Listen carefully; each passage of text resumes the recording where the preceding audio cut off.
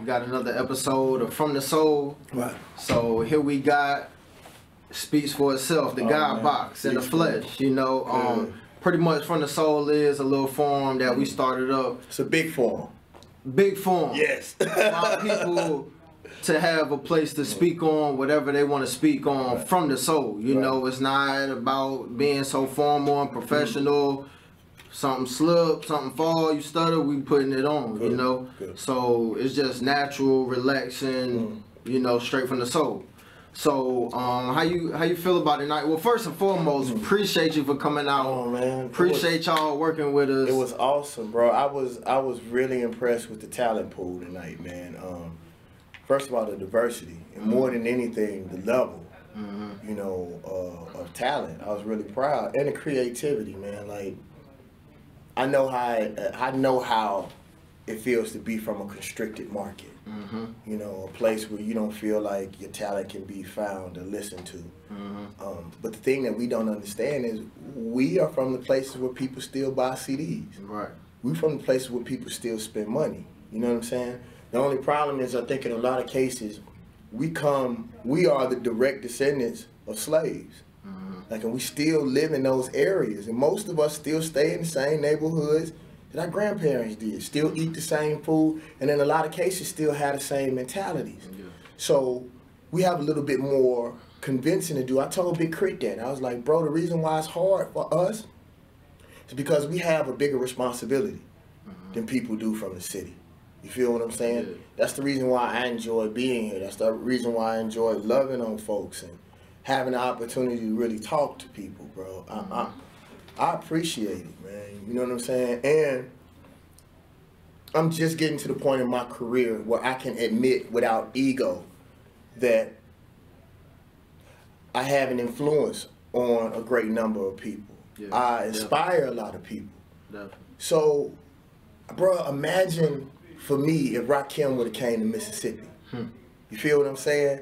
Imagine if, if, if, although I did have an opportunity to become really good friends, but imagine if Pimp C came to one of my events and I got an opportunity to be around, whether I got to hook up or whether I was able to give my number or not, just to be able to be in a building with somebody who is moving forward that comes from a similar environment Right. means the world to me. So it was it was really dope, and I was honored to be here. That's what's up. So all in all, what the reason why we put this together, I mean, I feel like, especially the way things going on in the world and everything, mm-hmm. I feel like we almost in like a new renaissance era. Mm-hmm. You know, I feel like artistry is the number one leaders right mm-hmm. now. You know, from you know, I think the art appreciation is is rising up, and then the messages in the art of music is rising. You know, Well, I think music. I think music is on its period, mm. and so many people. There's something that happened to music that hardly no one talks about. Music became the new hustle, hmm. and what happened is is that the most of the rappers were nerds, and people won't admit this, even though they may have been hard. Especially from the generation that I'm from and above, in order for you to be a lyricist, you had to what? Know words. Mm-hmm. So whether they came from the hood or not, like they had to be dope with words. Right.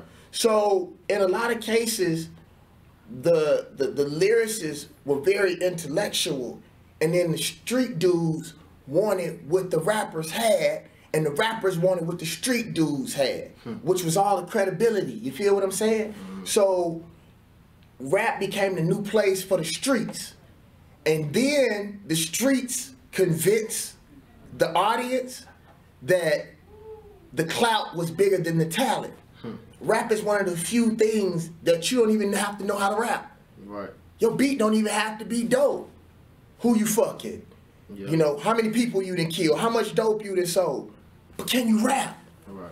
Like to me, as long as it's something that's really in the hood, I don't give a fuck whether Ice Cube was real or not. He told the story of our fucking people. Hmm. Although I know for a fact that Scarface was the truth, hmm. I really didn't care because he articulated the way that I felt better than anyone else. Oh, yeah.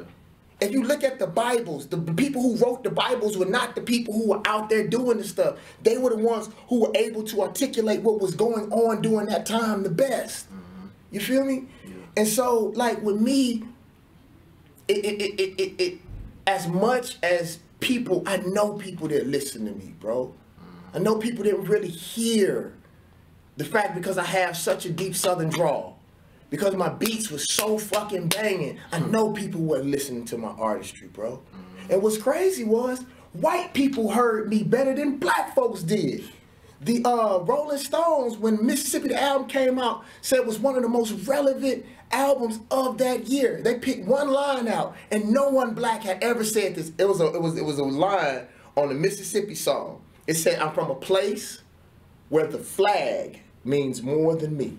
Hmm. Where a Confederate flag means more than a black person. Mm-hmm. Bruh, that shit was dope. Similar to when Andre said, I asked a little girl what she wanted to be when she grow up. She said alive. Hmm. Whew. He didn't have to say shit else the whole album. I was like, that's it. Right. But that's why it's so important to do what you guys are doing.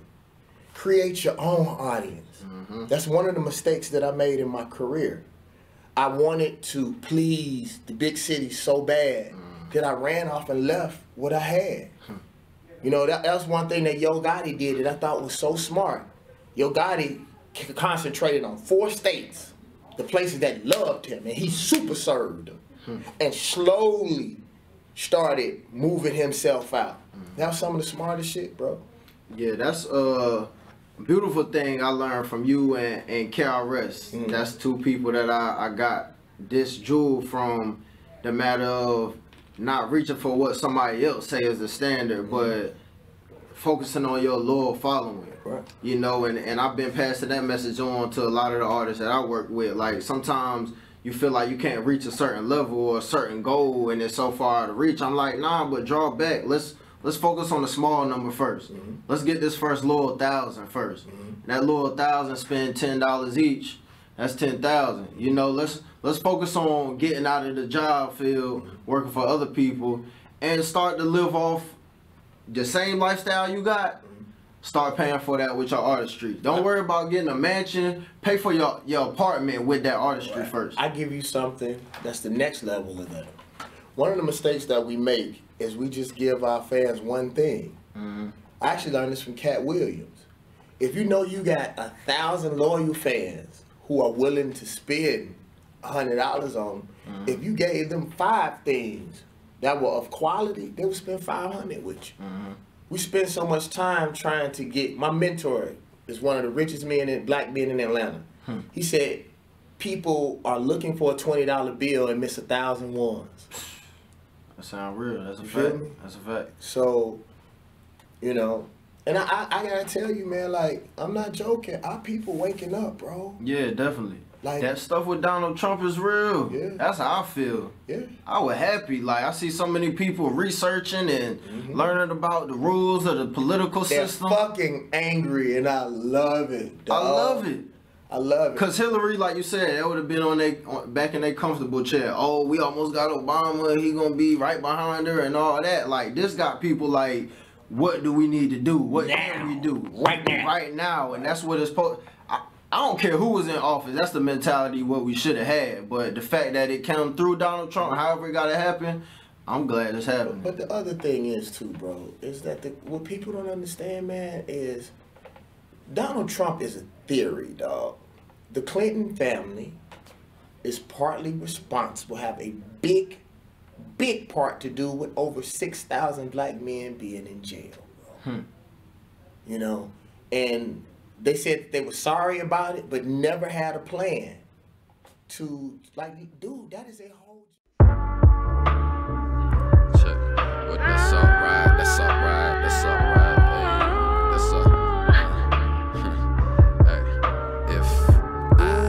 if I